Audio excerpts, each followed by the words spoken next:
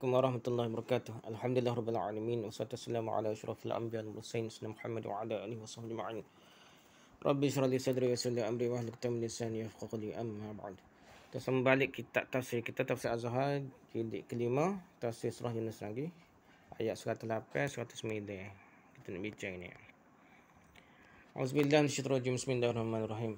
قل يا أيها الناس قد جاءكم الحق من ربكم فمن اهتدى فإنما يهتدي نفسه ومن ضل ومن ضل فإنما يدل عليها وما أنا عليكم بوكيل Ayat 18. Katakanlah wahai sekalian manusia. Sungguh telah datang kepada kamu suatu kebenaran dari Tuhan kamu. Qad ja'akumul haqqu min rabbikum. Maka barang siapa yang ingin petunjuk, maka tidaklah dia mengambil petunjuk itu malaikat untuk dirinya sendiri faman ihtada fa inna ma yahtadi nafsih. Yang, yang ambil petunjuk untuk diri sendiri lah kebaikan diri sendiri. Faman dalla fa inna ma yadullu alaiha. Dan barang siapa yang sesat dalla maka tidak lain kesatannya itu ialah kecelakaan atas dirinya sendiri. Fa inna ma yadullu alaiha. Dan tidaklah aku ini menjadi wakil atas kamu. Mama ana mama ana alaikum biwakil.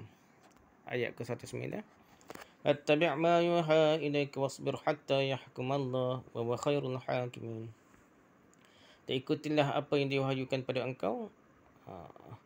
dan hendaklah engkau sabar sehingga Allah menentukan hukum dan dia adalah yang sebaik-baik para penghukum wa khairul hakimin ha. sekarang datanglah penutup surah terdiri dari dua ayat iaitu ayat 108 dan 19 katakanlah wahai sekalian manusia pangkal permulaan ayat 108 setelah panjang lebar yang mengandungi mengandung lebih daripada 100 ayat yang menyeru, menyerukan tauhid menerangkan perjuangan rasul membantas fahaman syirik yang salah mempersekutukan yang lain dengan Allah menyinggung juga akan perjuangan rasul-rasul yang terdahulu tujuan pertama kepada kaum musyrikin Quraisy. Ha, tetapi menuju yang lebih jauh iaitu sekali manusia melacak ke Quraisy lepas itu seluruh manusia lah. Dan setelah berkali-kali mereka diajak berfikir bahawa agama bukanlah pasaan bahawa orang yang tidak suka berfikir adalah kotor batinnya. Maka di akhir sekali diperintahkanlah oleh Rasul menyuruh sekalian manusia pula. Benar. Wahyu ini turun seketika Rasul SAW berhadapan dengan kaum Quraisy. Tetapi isi seruan ialah seluruh manusia. Sebab dialah yang berakal dan boleh berfikir di antara segala makhluk yang ada di dalam muka bumi ini. Sebab itu mencapailah seruan itu kepada manusia yang di luar dari lingkungan Quraisy di zaman itu dan mencapai pula akan manusia yang akan hidup di dunia ini terus menerus.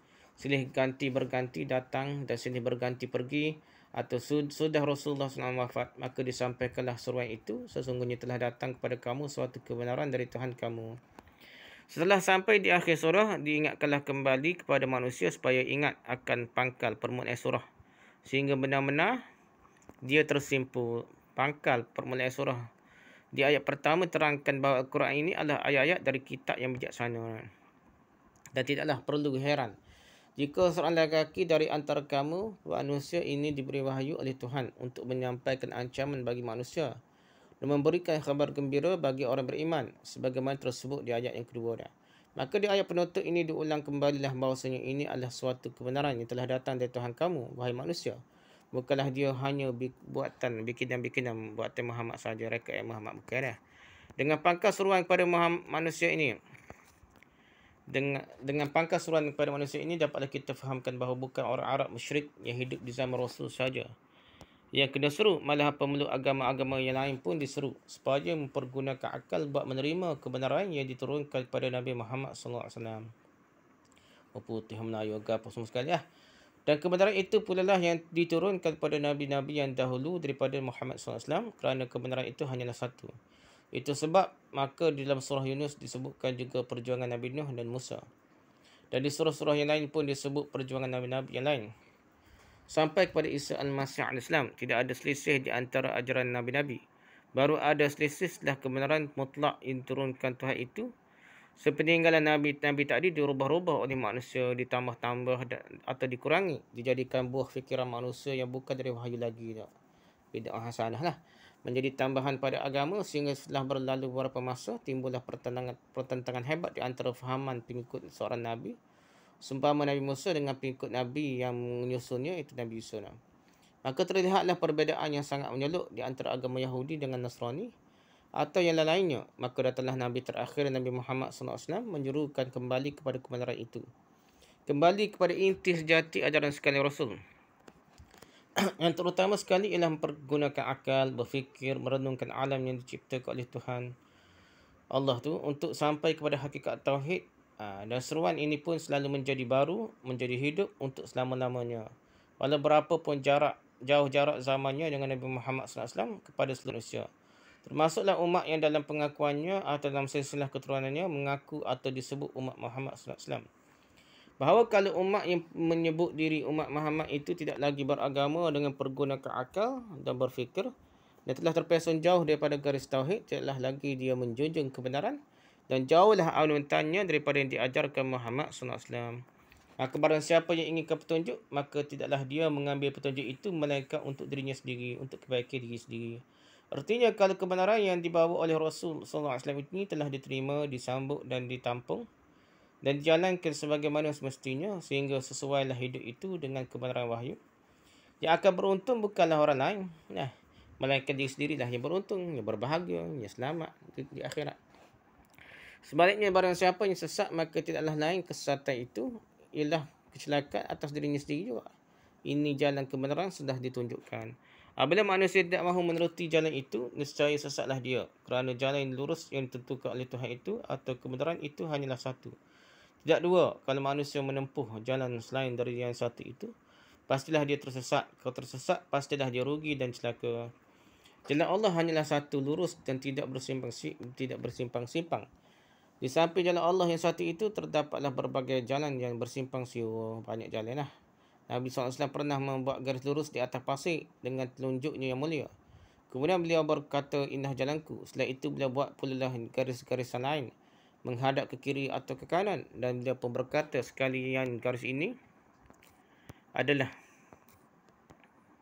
adalah jalan syaitan dan akan tersesatlah kamu kalau jalan-jalan ini yang kamu tempuh. Ha, agama baru ni banyak dah. Emang Yaqazah jumpa Nabi Muhammad ni bukan hak ngaku Islam bukan ngaku Islam pun agama baru pun dia dia ayat dia, dia beritahu dia ya qazah jumpa Nabi Isa jumpa Nabi Muhammad SAW dah. Ajar macam-macam lah ajar agama baru dah. Tidaklah Allah Ta'ala membiarkan saja manusia itu dalam keadaan susah.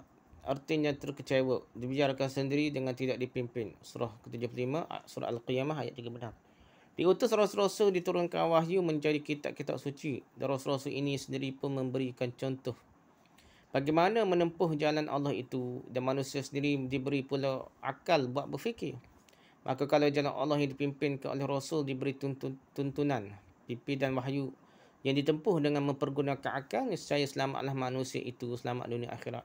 Kalau manusia selamat, siapakah yang beruntung? Bukankah manusia itu sendiri yang beruntung? Sebab uh, hidupnya tidak berdusta. Uh, hidupnya tidak berdusta sebab hidupnya tidak melawan akalnya yang murni. Tapi jika sebaliknya, Rasul telah datang tapi tidak diikutinya juga, kitab kebenaran sudah turun tetapi tidak diperdulikan, tak ambil peduli. Lalu ditinggalkannya akal, diturutinya nafsunya, ditempuh jalan syaitan yang bersimpang siur itu. Lalu sampai di jalan yang butuh atau sampai uh, kepada kehancuran sehingga seluruh hidup menjadi percuma dan sia-sia saja. Dan akhirnya neraka lah tempatnya. Siapakah yang salah? Siapakah yang rugi? Dapatkah Allah disesali? Nak, nak salah ke Tuhan lagi kah? Dapatkah menumpahkan penyesalan kepada Rasul? Nak salah ke Nabi lagi kah? Padahal dia telah menyampaikannya. Sekiranya umat yang telah berajarak dengan Rasul SAW sampai berabad-abad sebagai kita ini sekarang ini akan mencari dalih mengatakan bahawa kami tidak tahu menahu sebab kami tidak berjumpa dengan Rasul SAW. Bukankah segala ajaran Rasul itu telah dijadikan kitab nah, jadi kitab Quran? Bukankah paling kurang lah, tak kira hal lain Quran paling kurang lah. Bukankah ulama-ulama mempunyai tanggungjawab sebagai penerima waris Rasul melanjutkan kewajipan itu? Ulama pun duk ceramah Nah. Oleh sebab itu kalau ada yang celaka sengsara juga, tersesat juga dan akhirnya terperosok menjadi isi neraka juga, tepatlah ujung ayat berbunyi dan tidaklah aku ini menjadi wakil atas kamu. Ha, ujung ayat serapai tak tanggungjawab lah ayat dah nah, gitu lebih kurang dah.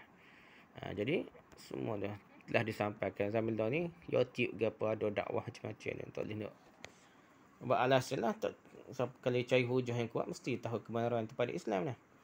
Artinya tidaklah aku diwakilkan oleh Allah untuk mengurus pula sampai sampai kepada kemerdekaan dirimu mempergunakan fikiran. Dan tidak pula diwakilkan untuk memaksa kamu beriman. Dan tidaklah aku mempunyai kekuatan atau kekuasaan untuk dengan tangan kekuasaku mencegah kamu terpesong terbelok kepada jalan yang salah. Atau menjaga kamu supaya tetap jalan yang lurus saja. Kewajipanku hanyalah sebatas menyadarkan akalmu. Oh, dakwah gitulah dah. Menyadarkan harga dirimu sebagai manusia. Dan nanti di akhirat pun tidaklah aku mempunyai kekuasaan buat menghambat kamu dari datangnya pertanyaan dan, dan diminta pertanggungjawabkan atas perbuatanmu dan amalmu selama di dunia ini. Ha, tak boleh sekat lah. Dia untuk nukan hakim mereka apa tanya kan. Jawab sendiri lah. Masing-masing lah. Kepada itu setelah selesai Rasulullah SAW disuruh menyampaikan seruan di atas tadi kepada manusia. Tuhan pun menyampaikan perintah kepada beliau untuk tugas beliau sendiri dalam membimbing umat. Ha. Dan ikutilah apa yang diwahyukan pada engkau. Pangkal permulaan ayat 109 artinya segala yang telah diwahyukan pada engkau itu engkau sendirilah yang wajib terdahulu terlebih dahulu mengikutinya ya. Menjalankannya sehingga menjadi bentuk dari kehidupan sehari-hari menjadi ilmu dan mengajarkannya pula kepada orang lain jadi kita nak ajar kau okay? kita kena amal dulu ilmu ni di sinilah kita mendapat pedoman betapa besarnya tanggungjawab Rasul. Wahyu Allah dialah orang pertama sekali menjalankan perintah-perintah Al-Quran tu dah. Wahyu Allah tu untuk dirinya sendiri dulu. Ini pun menjadi iktibar pengajaran bagi sekalian orang yang telah menyediakan diri menjadi penyambut warisan Nabi. Yang disebut ulama pun kena bersifat seperti Nabi. Kena amal dulu ilmu sebelum menyebarkannya pada orang lain. Tidak mungkin dihargai oleh umat seruan Rasul kalau Rasul tidak menjadi pelopor yang di, di muka sekali. Yang pertama sekali dalam mengikuti wahyu ilahi. Jadi contoh sesuatu lah. Demikian juga orang yang berani menyebut dirinya ulama dan hendaklah engkau sabar. Ataupun dia ni mengajar agama, dia kena amal dulu sendiri dulu. Dan hendaklah engkau sabar sebab pegangan utama seorang Rasul ialah sabar, tabah, tahan hati. Sebagaimana layaknya bagi seorang Rasul yang termasuk ulul azmi. Halangan banyak, rintangan bertimpa-timpa, kesulitan bertumpuk-tumpuk, kadang-kadang jiwa pun terancam. Berjuanglah dan berjihadlah terus. Sehingga Allah menentukan hukumnya dan Allah menentukan keputusan. Esa hilang du- hilang dua terbilang. Kerana Tuhan Allah... Apa maksudnya sini? Uh, apa, apa pun Allah yang tentukan lah dan menentukan hukum tu Allah. Kerana Tuhan Allah apabila telah menjatuhkan hukum, pastilah hukumnya adil dan benar. Kemenangan di pihak yang benar, kehancuran di pihak yang batil dan dia adalah sebaik-baik para penghukum. Ujung ayat 109. Hukum Tuhan itu jatuh dengan pasti dan bijaksana. Melebihi dari sekalian hukum yang dijatuhkan oleh hakim-hakim di dunia ini. Sebab ilmu pengetahuan Allah tidaklah terbatas dan tidak ada kepentingan bagi Allah buat berlaku zalim dalam menentukan hukum itu kita ni. Uh, ada kepentingan yang besar ke apa? Pemerintah. Lepas macam ada orang kapur kan? Curi berapa sing ni. Maksud jaga lah ha, tapi dia ni tak ada lah. Allah SWT ni tak ada kepentingan. Perintah Tuhan terhadap kepada Rasulullah SAW ini supaya dia yang terlebih dahulu mengikuti jalan wahyu. Nabi dulu kita amal lah. Dan supaya sabar menghadapi segala halangan. Dan mengatasi segala kesulitan memimpin manusia yang demikian banyak menempuh jalan, membawa kawan dan menghadapi lawan.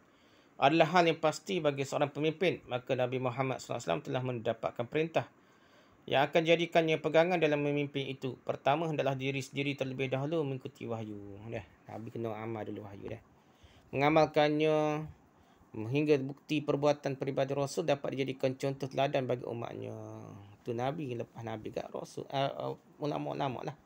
Jadi kena jadi contoh yang baik pada umat. Jangan dia pula penuh bagai huduh nah. Uh, mulut uduh. Ha, jadi perangai uduh lagu apa dah kata no syurga aku tapi dia sendiri mai benda-benda haram nak ha, tu fitnah makilah dah ulama sedikit cek uduh nak lepas tu syirik lagu apa ulama sendiri dah berat lah tu dah Rasulullah SAW telah menjalankan perintah Tuhan itu sepenuhnya dalam perkara taat mengikuti wahyu. Dialah orang yang pertama dalam soal sabar. Dialah yang paling sabar. Demikian hebat tentang kaumnya tetaplah dia dia lah yang menang sebab sabarnya Nabi. Nabi sabar sangat. Kalau dia tidak sabar, pekerjaannya akan patah di tengah jalan. Kerana ketaatannya menjalankan wahyu dan kesabarannya, janji Tuhan telah dicukupi. Tuhan telah menjatuhkan hukumnya. Islam menang, kekufuran kalah. Dan kita sekarang telah mengecap nikmat Islam itu kerana bimbingan yang beliau tinggalkan pada kita. dan orang yang mukmin yang percaya akan ajaran itu. Telah menyambung usaha beliau, berdirilah umat Islam pemangku tauhid di atas dunia ini 14 abad lamanya. Ada pasang naik dan ada pasang turun. Maka dalam mengkaji masa turun dan masa naik umat Islam, ternyata mereka tetap menang selama wahyu ilahi diikuti dan ditaati. Serta sabar dalam menegakkan kebenaran. Dan mereka menjadi merosot dan muram bila wahyu tidak lagi diikuti dengan setia dan tidak sabar seketika cubaan datang. Sunnatullah selalu berlaku menurut garisnya yang tertentu dan sekali tidak ada satu jalan lain pun mengganti sunnatullah itu selesai jilid ke berapa ni. Inilah juzuk ke ni eh. Surah Yunus eh. Khamis dan Nasyawal 13 April tahun 17 Februari 1986. Lepas ni kita baca juzuk 12 surah ke 11 Surah Hud pula Nabi Hud. Hmm. Wallahu a'lam subhanakallahumma hamdika subhanaka asyhadu an la ilaha illa anta astaghfiruka wa atubu ilaik. Assalamualaikum warahmatullahi wabarakatuh.